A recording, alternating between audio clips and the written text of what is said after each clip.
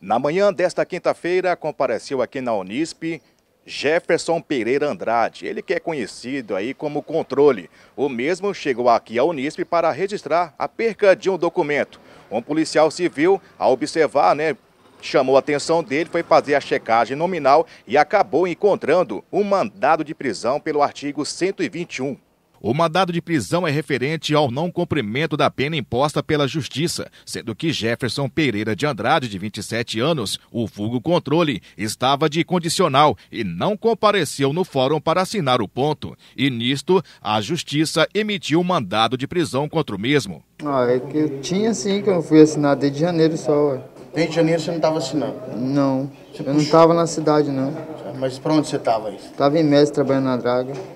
Não, depois eu cortei a pulseira e caí com um pó de arma só.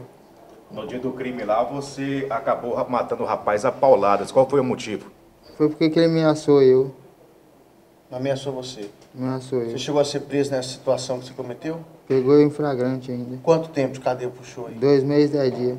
Jefferson foi preso no dia 15 de setembro do ano 2013, após cometer o crime de homicídio contra José Carlos Fermiano, que era conhecido pela alcunha de Preto. Foi morto a pauladas no bairro Duque de Caxias, quando foi atocaiado pelo Jefferson e recebeu os golpes na cabeça, por motivo fúteis, após uma discussão. Jefferson, depois de cometer o crime, foi para sua casa dormir e, horas depois, foi preso pela equipe do Cevic com as imagens de Alex Luciano, Marquinhos Neri para o jornalismo da Rede TV.